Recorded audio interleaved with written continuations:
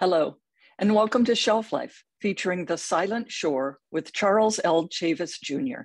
I'm Jane Kulow, Director of Virginia's Center for the Book, a program at Virginia Humanities. We are pleased to co-host this event with the Maryland Center for the Book at Maryland Humanities. As neighboring humanities councils, we share a mission to amplify stories that many folks don't know about. I'll share a couple of housekeeping notes. Please share your questions using the Q&A tab on Zoom this event has optional closed captioning, which you can turn on and customize at any time during the event using the closed captions tab at the bottom of your window. If you haven't already read today's book, we hope you will. For details about how to buy it, visit vabook.org, where you can also explore our schedule of upcoming events and watch past events.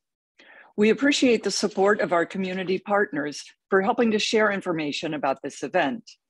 Those include the History of Lynching in Virginia Work Group of the Virginia Dr. Martin Luther King Jr. Memorial Commission, the John Mitchell Jr. Program for History, Justice, and Race at the Jimmy and Rosalynn Carter School for Peace and Conflict Resolution at George Mason University, the Racial Terror Lynching in Virginia Project in the Department of Justice Studies at James Madison University. We also want to thank Ting for supporting our virtual programming. Lindsay? Hi, everyone. I'm Lindsay Baker, Executive Director of Maryland Humanities, and we are especially pleased to co-host this event with Virginia Humanities. In The Silent Shore, Dr. Chavis draws on his discovery of previously unreleased investigative documents to meticulously reconstruct the full story of one of the last lynchings in Maryland that of Matthew Williams in 1931. The Silent Shore explores the immediate and lingering effects of Williams' death on the politics of racism in the United States. And now I'm pleased to introduce our speakers. Charles L. Chavis Jr., author of The Silent Shore, The Lynching of Matthew Williams and the Politics of Racism in the Free State, is the founding director of the John Mitchell Jr. Program for History, Justice, and Race at George Mason University's Jim, Jimmy and Rosalynn Carter School for Peace and Conflict Resolution, where he is also an assistant professor of conflict analysis and resolution and history. Chavis is national co-chair for the United States Truth, Racial Healing, and Transformation Movement and the vice chair of the Maryland Lynching Truth and Reconciliation Commission. Maya Davis is the director of the Riversdale House Museum in Prince George's County, Maryland. She currently serves as a commissioner on the Maryland Lynching Truth and Reconciliation Commission and the Maryland Commission, Commission on African American History and Culture. A native Washingtonian, Maya is a graduate of Howard and George Washington Universities, where she obtained degrees in history and museum studies, which I will say are the best degrees. I'm a little biased. Thank you all for joining us today. Charles and Maya, it's over to you. Thank you so much, Lindsay and Jane. It's my pleasure to be here this afternoon. And I want to say to our audience, good afternoon and welcome to this Shelf Life virtual event. I'm Maya Davis, and it is my pleasure to share this platform with my friend and colleague, Dr. Charles Chavis, who recently released his new book, The Silent Shore, The Lynching of Matthew Williams and the Politics of Racism in the Free State.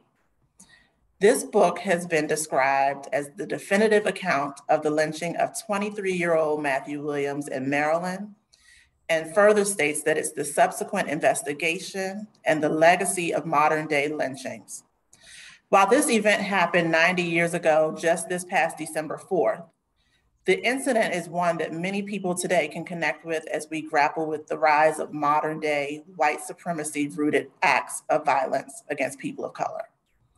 On a personal note, Dr. Chavis, I know that you're well aware, I have a 23 year old son. He's a senior at the University of Maryland Eastern Shore and just has a, really a lot in common with a young Matthew Williams. Um, and I really just could not put this book down. Uh, first, because your writing was so compelling.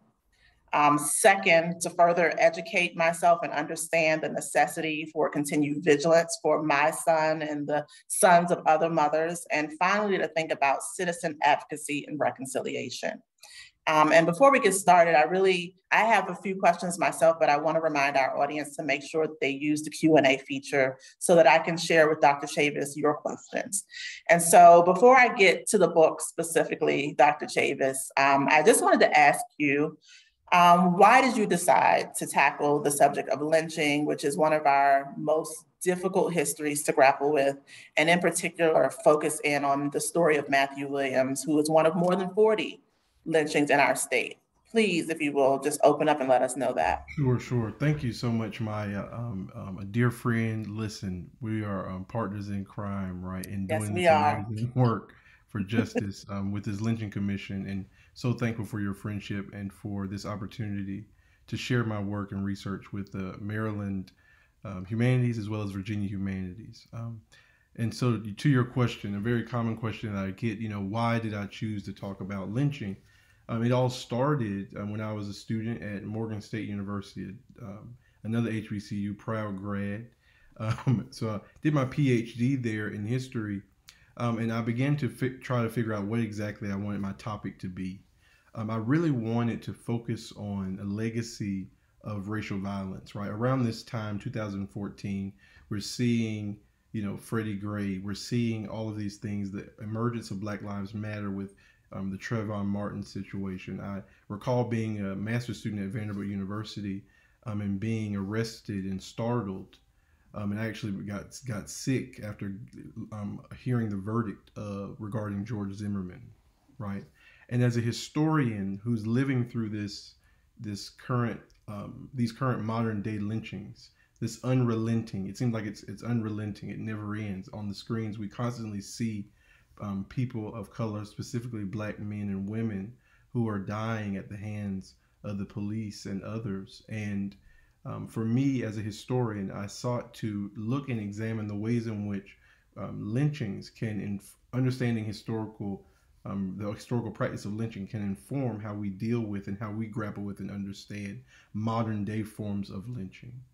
Um, and I think it's also important to dispel this myth that is out there regarding um, the ways in which you know our country should um, co- compartmentalize lynching, right, as a historical phenomenon. We have to be able to see lynching as um, a part of a continuation of anti-black violence and terror that we continue to see um, to this day. Um, and so I was really inspired, um, specifically around the cases of Freddie Gray, as well as the cases of Anton Black on Maryland's Eastern Shore, these modern day forms of lynching, these cases caused me to think about the ways in which we can utilize history to under, to begin to un- understand and unravel and to make sense of the trauma that black communities throughout this country continue to face, not something that is just emerged in the age of Black Lives Matter. Thank you. Um, you know, just always a compelling story. We have our own personal chats over the phone in person, um, and you always have me thinking. And so, as I looked at and read the book, because I'm definitely one of those people where I'm looking at the cover as much as I'm looking at the content. Um, so, I really want to start with that. Um, and just wondering like how you decided to choose the cover for this book. Um, as you know, we've kind of both had a lot of discussion around uh, the reintroduction of trauma related to images that we've seen associated with the lynching of Black bodies. And your cover of this book opted to highlight the mob, the mm-hmm. scene of the mob that were there and not really reintroduce trauma in that way. How did you decide that this would be the cover of this book? And what was your motivation behind that? Well, thank you so much, Maya, for that question. I think the question concerning the trauma, we talk about all of this a lot. Me and you spent a lot of time on uh, dealing with this and how we're going to think about developing the hearings for the commission, um, specifically in regards to reintroducing this trauma through these very um, visceral and traumatic images. You know, there's um, already exhibits um, historically as well as publications that highlight photographs and other ephemera pertaining to lynching um, and I felt that you know those works did an amazing job of um, displaying um, and teasing out and dealing with these images and the trauma associated with them, including the late Congressman um, John Lewis's work around the Without Sanctuary exhibit. Um, but what I wanted to do in this book, um, and in working with my publishers at John Hopkins, as well as a number of colleagues at various archives throughout the state, um, I wrote and, and, connecting also with the descendants of Matthew Williams. I wanted to find a photograph that um, figuratively dispelled this myth, right? Um, in the way that John Lewis does in his work, in terms of displaying the actual people who are there, right? Because what we are dealing with, um, as you know, as Black people in this country, specifically in regards to our history, the direct assault on our history, is that these um, lies are told regarding the history of lynching, um, specifically one of the tropes that is often um, recounted, even in investigative documents, but also even to this day, is that these lynchings took place at the hands of persons unknown, right? Which we know in terms of the black community, but also, as my book reveals, the white community, the white political leaders, and all those involved in lynching knew exactly who was involved. This image puts it out um, for all to see that indeed um, there were people there who knew about it and they um, didn't seek to even try and cover up their crime because they took a photograph, right? That speaks to the way how confident um, and how the strength of white supremacy regarding um, even if you have um, photographic evidence of being at a crime, just you had you had not need to worry about the killing of a black man or um, violence towards a black community because justice did not work for them the way in which it um, works for others, right? So it's interesting in that regard. But this is actually not even an image of the scene, the lynching of Matthew Williams. This is a um, scene from 1898, the lynching of William Andrews, that I was able to track down and hunt, um, track down with the support of um, the Nabb Center. The Nabb Center actually um, at Salisbury University I discovered this um, going through their materials and working with their um, regional archivist, um, Ian Post. And we decided to go with this image instead of the more popular image from the Baltimore Sun, the cartoon figure that is displayed within the book as well by the Pulitzer Prize winning cartoonist for the Baltimore Sun. We decided to go with this one because, again, it speaks to the ways in which lynching is just not um, we, we, talk about this is one case. I try to tell people this is one case of over 6,500 potential cases around this nation, right? And so um, this image speaks not only for Matthew Williams, but it also speaks to the, those thousands and the thousands upon thousands of people, white people, who were there and present, and in many ways did nothing. Thank you so much for that. Um, one of the aspects of your book that I think has made this text so powerful are the personal vignettes um, of individuals and places on the Eastern Shore that kind of help set the stage for the events that took place leading up to the lynching of Matthew Williams. And um, one of the ones that spoke to me was that of James Stewart. And I'm going to read a brief passage uh, really quickly, and then we can kind of get into that further. I have my copy of your book here. I'm happy to have it. And in the book, you say, the signature Black institution on Broad Street in Georgetown was John Wesley United Methodist Church, the church where Matthew Williams was a member Today is the only remaining building from the original Georgetown neighborhood. Across the street from the church were the home and business of James E. Stewart, the area's Black undertaker and funeral home director. He had started his company in 1919. It was in Stewart's home business that Williams' body was hidden following the lynching and where his funeral services were held. The Black Masonic Hall that Williams had planned on joining was located on Broad Street next to the white owned Benedict's Florist. And like I could go on, um, you ran out further, like how Mr. Stewart had been educated, the places that he worked, the community members that he was associated with, and then also his personal feelings on what he thought was uh, outside interference, like uh, by NAACP uh, Representative Bernard Ades. I just want to speak to uh, the importance of genealogy and the work of genealogy and rebuilding these narratives because a lot of times you do have to depend on the narratives of other people to tell the story that you want to tell. And so I think as we do um, history, that oftentimes genealogy is overlooked. So I'd really like for you to speak to the power of genealogy and how it impacted your work on this book. Well, it was central to my work. And again, it, it stems from my training um, as a doctoral student at Morgan State University, specifically um, my work with Dr. Jeremiah Dibua. I'm to give him a shout out. Um, during um, our um, courses, you know, one of the things in terms of our history, histor- historiography and methodology course, we talked about using every source possible, right? And and yet we also discussed how we oftentimes privilege empirical sources, right?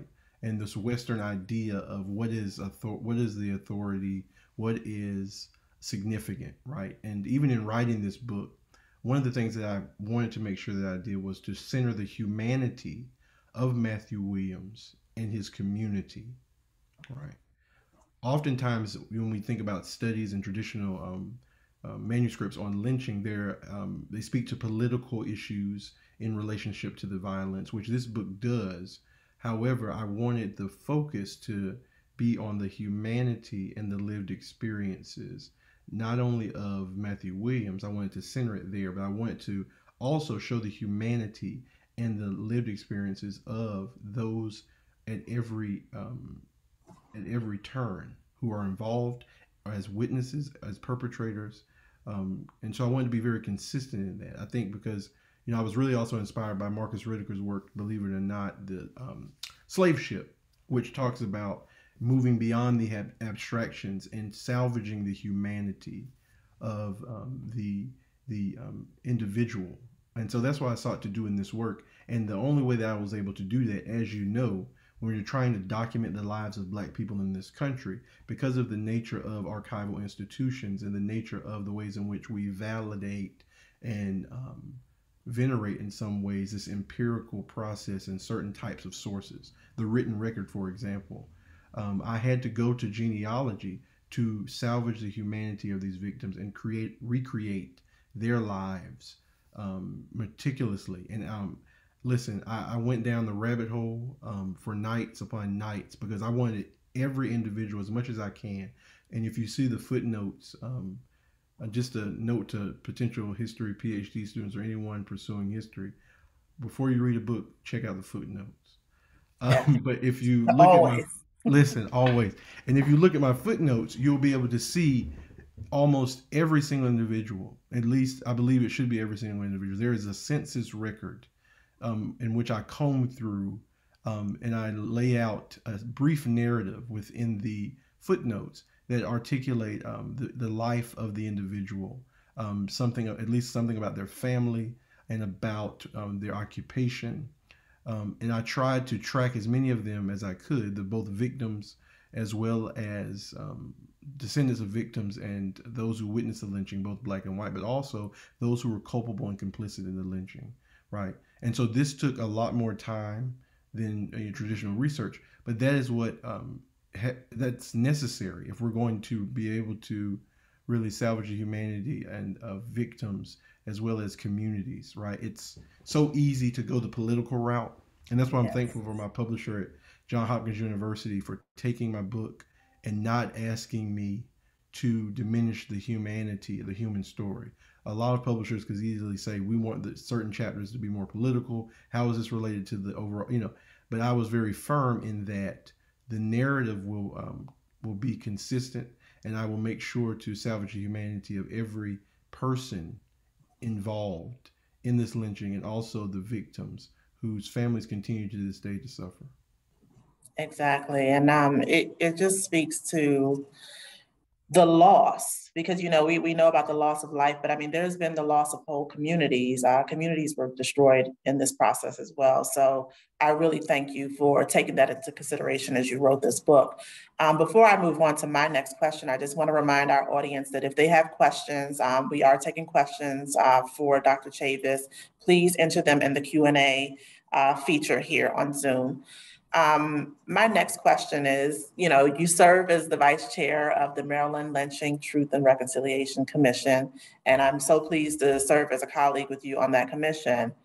In your role as vice chair of that commission, did you did it impact this book in any way? Did you did it cause you to make changes or reconsider how you shaped and framed the story that you were going to tell. Um, please speak to that.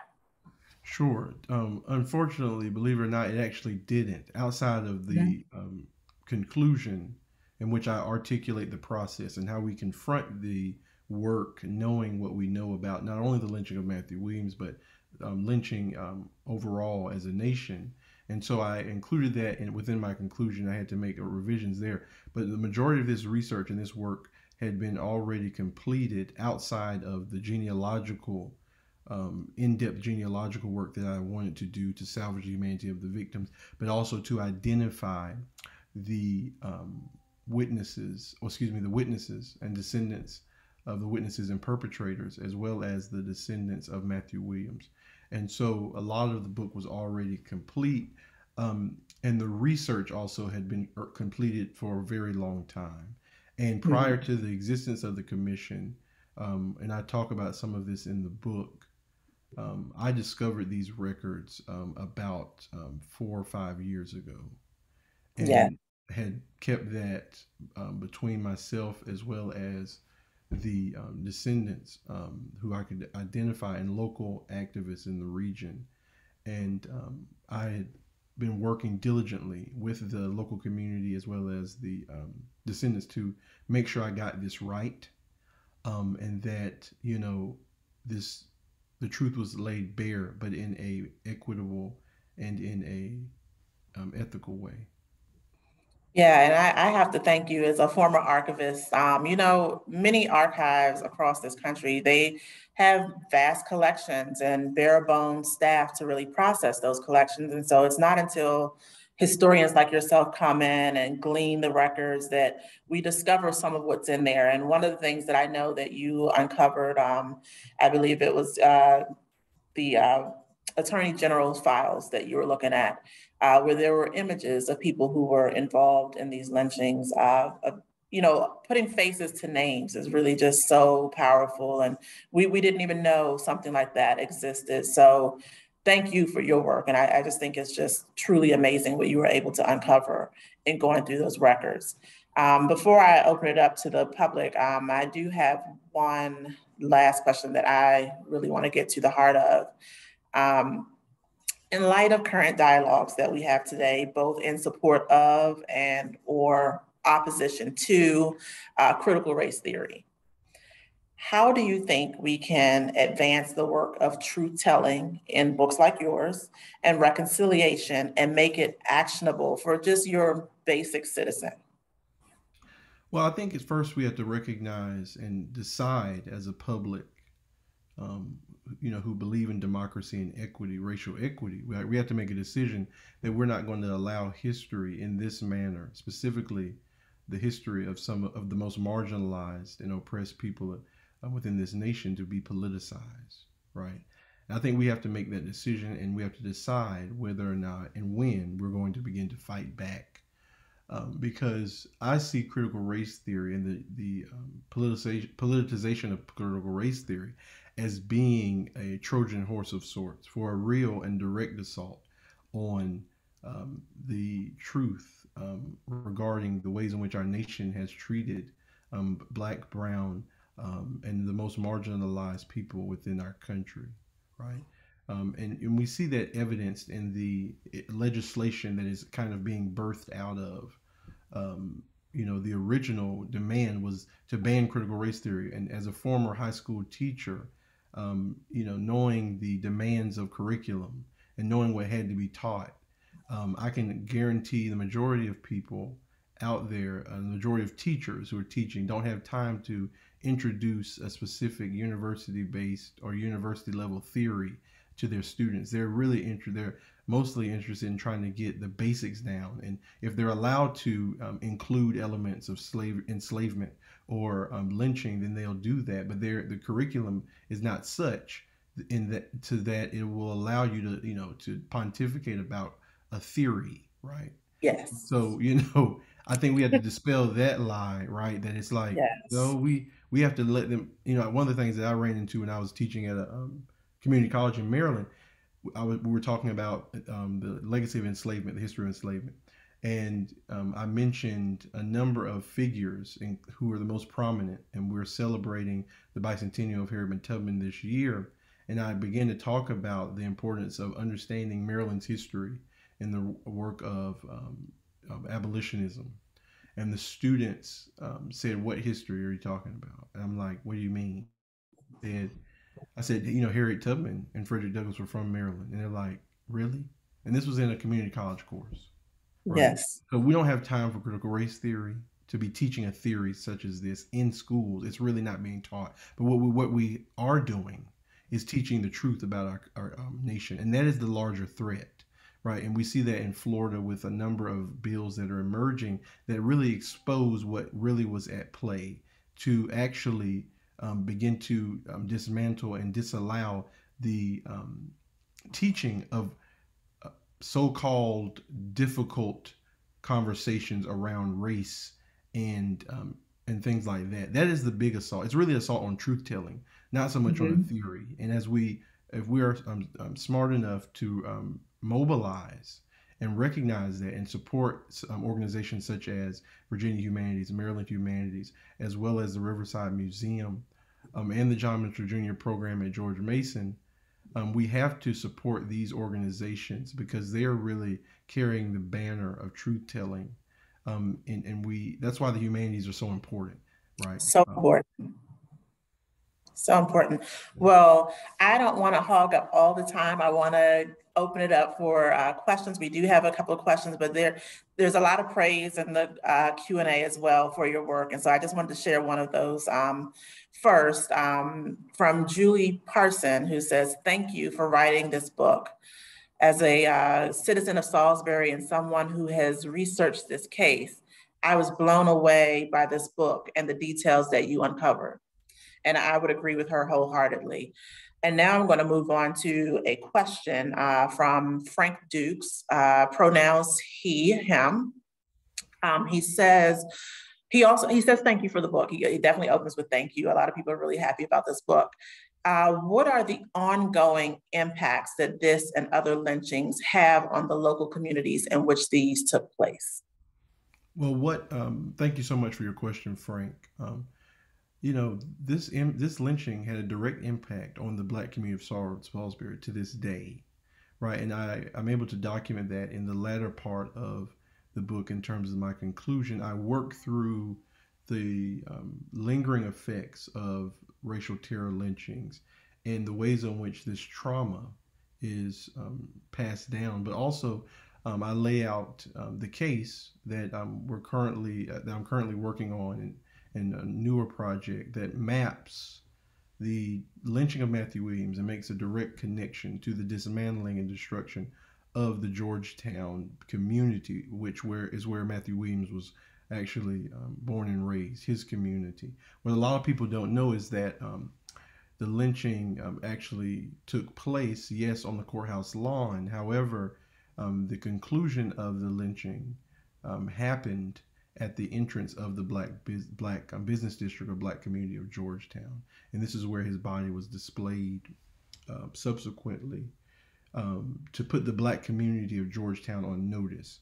And it's very important for us to understand that in 1931, at the time of the lynching, there were around 19 black um, businesses and um, homes it was a black neighborhood. It was a black business district that were um, still there. To this day, there's only one building that remains of that community, wow. Georgetown. That's the Charles Chipman Cultural Center, um, which is the former church, John Wesley, in which Matthew Williams attended. Um, so all of those buildings, even the bodies in the black cemetery, were exhumed. Um, and so when we think about Tulsa and these Rosewood and other, you know, massacres we we need to look at in some ways these state sanctioned um, systemic assaults um, and destructions of black communities that are equally as traumatic. Um, and I think part of the work that I'm doing um, in this book and the subsequent work we're doing with national advocacy organizations is to shine a light on these lesser known cases. Um, and you know the book as well as uh, evidence that we're uncovering um, lays out a direct line between the lynching of Matthew Williams and the systemic uh, assault on this community in which um, Matthew Williams was directly impacted. Thank you. So our next question is from Janet Johnson, who is inquiring on whether the descendants of Matthew Williams remain in the area. And I don't know that he had any direct um, descendants, but family members adjacent descendant communities. Correct. Yeah. So um, he actually had um, collateral descendants. So I, I mm-hmm. use the so when we think of collateral descendants, of course he did, he didn't have any children, but we have um, direct connections. And actually, the afterword of the book is written by um, one of his collateral descendants, Jeannie Jones. Um, her great grandmother was Addie Black, who raised Matthew Williams. Um, and her story is told um, in the Afro American newspaper. And it was around a, a, little over a year or so when I worked with a genealogist to uncover and to identify the family. Um, as Maya mentioned, I utilized genealogy in this book and um, playing an amateur genealogist, I hit a wall, right?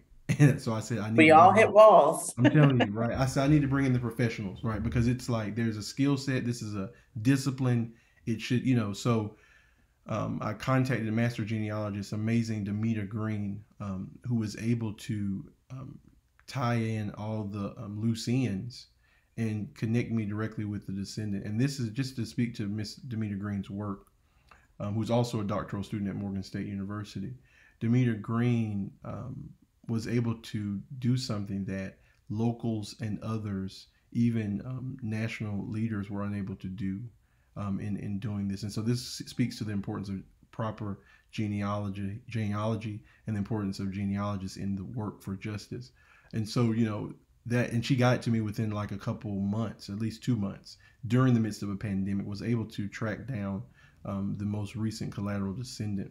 And so to I'm kind of long winded, um, but the, the answer no, no, no problem. Listen, yeah. I think our audience will appreciate your response. Sure, sure. To answer your question um, regarding the family, the as we know in most cases of lynching, um, and this was the case for Matthew Williams. One of the reasons why it was so hard for the community to identify family as they begin to do this restorative justice work right? Because um, it's important to understand that the work did not begin with my research.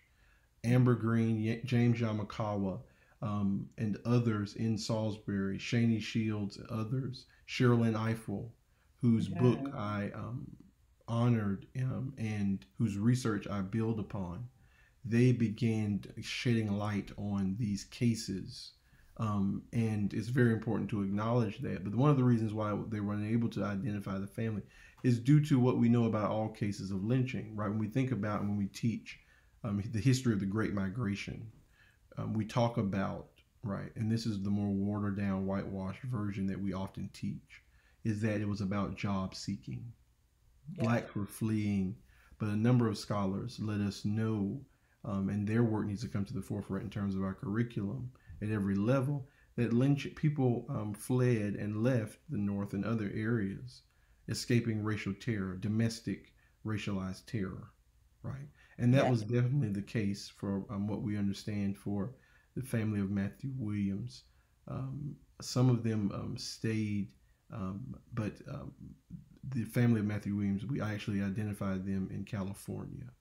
And they had left um, shortly thereafter. A lot of the family had left outside of distant relatives to either the North Carolina or to Washington, D.C um, following the lynching because all, as you can imagine, um, families were targeted directly mm-hmm. following these lynchings.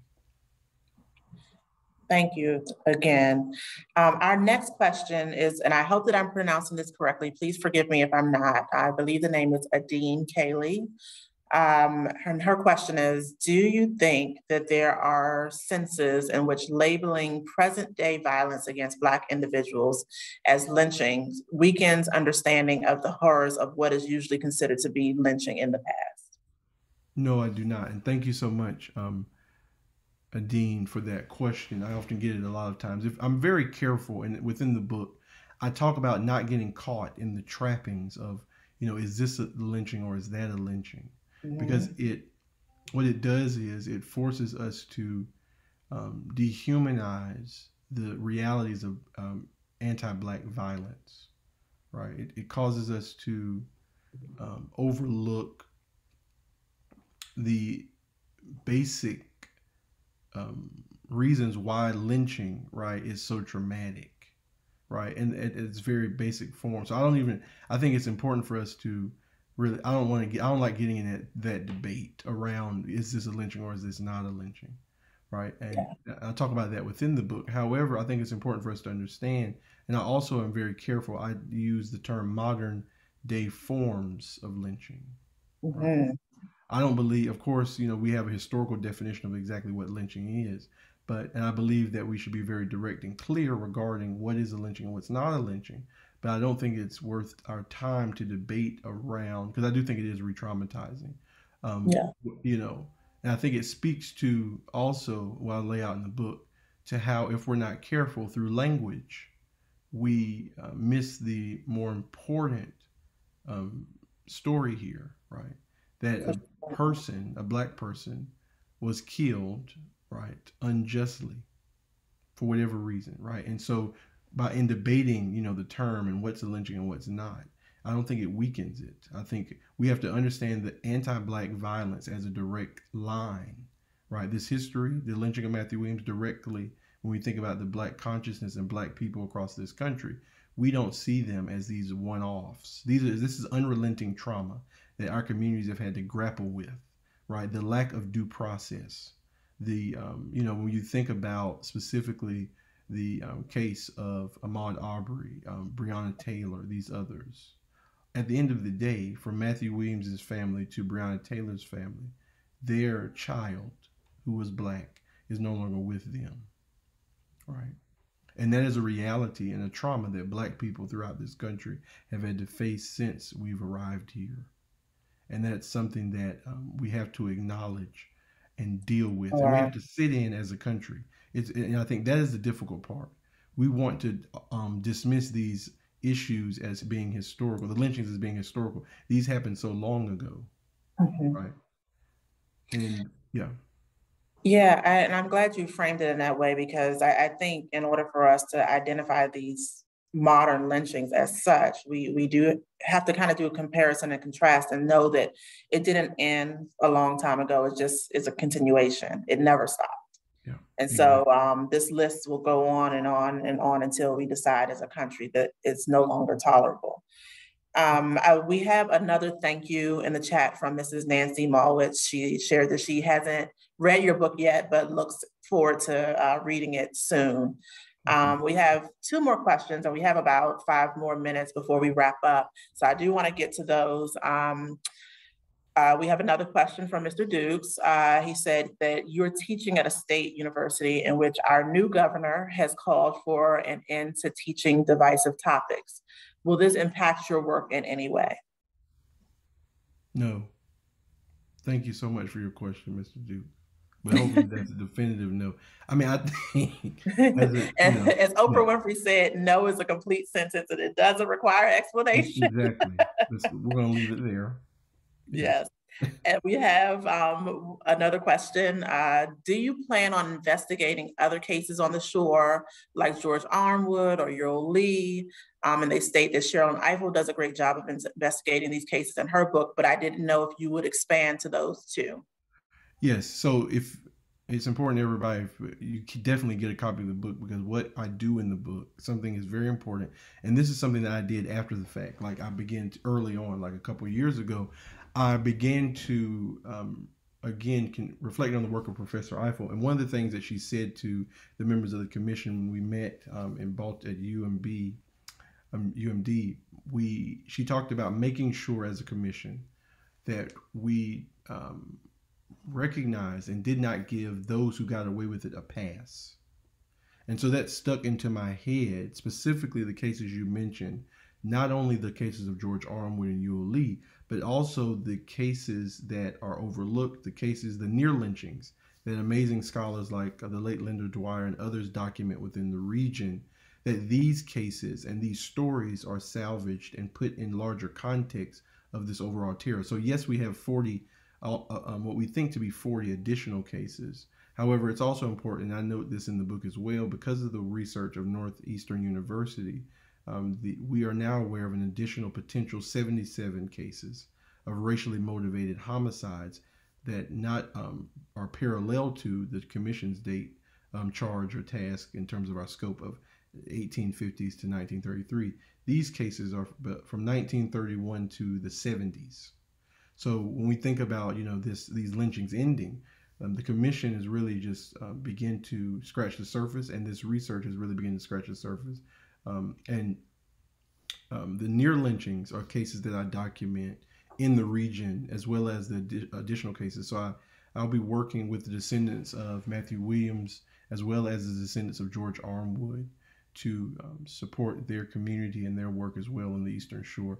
And as a commissioner, I'm also tasked with supporting the Eastern Shore region overall. And so I work directly with the descendants of Williams and Matthew, um, and George Armwood, as well as local leaders there, including dear friend Marshall Stevenson, who's at UMES. Yes.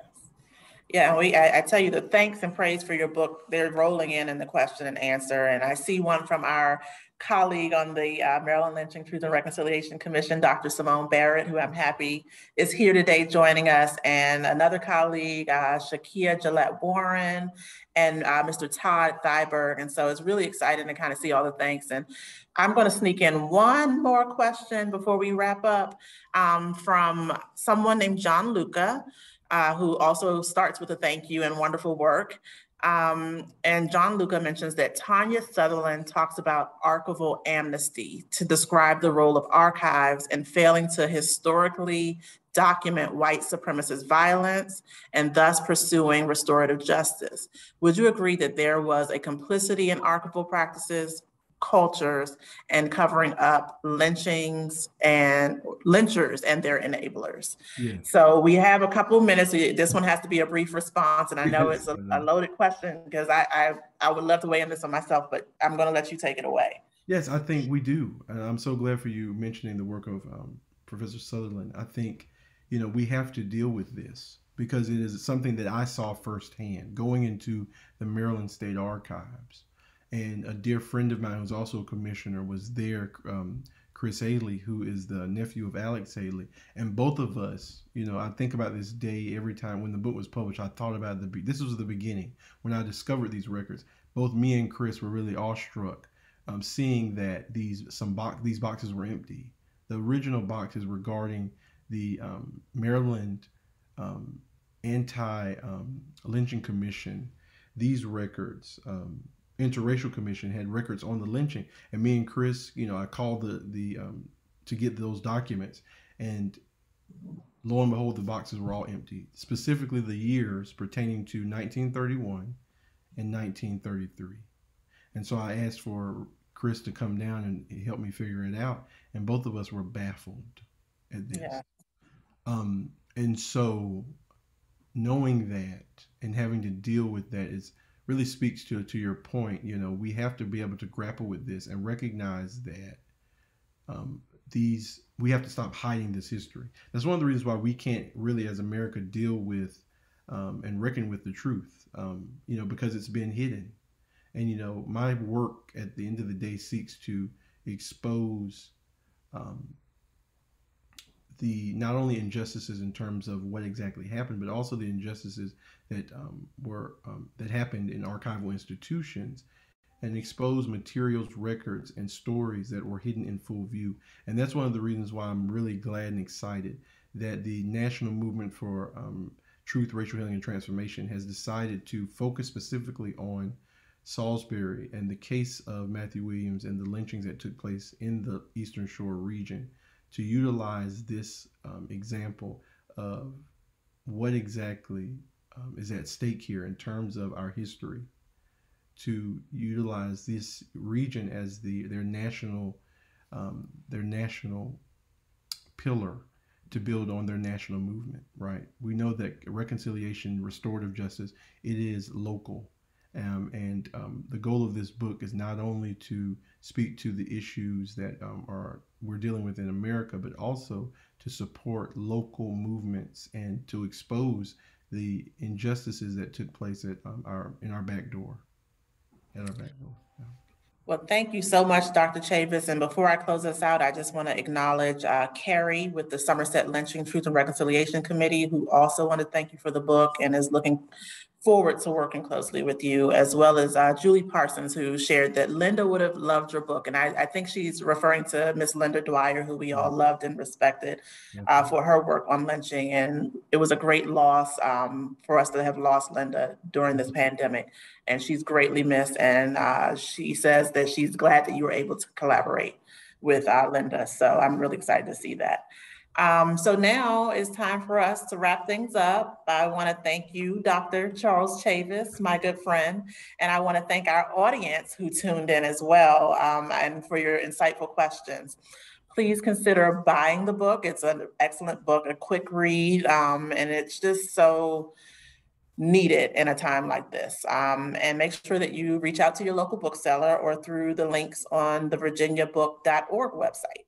You can also check out future events from the Maryland and Virginia Humanities Councils at their websites, marylandhumanities.org, and that is mdhumanities.org and virginiahumanities.org, all spelled out. So we look forward to seeing you at the next program. Thank you. Thank you.